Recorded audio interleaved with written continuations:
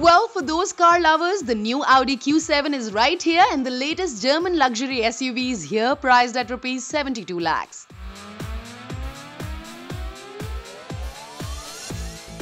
The present Audi is sleek and is more compact than the original. It has the regular hexagonal Audi grille and the most stylish headlights. The newer and more modern aerodynamics has made this huge vehicle a little slippery than before but can be managed well.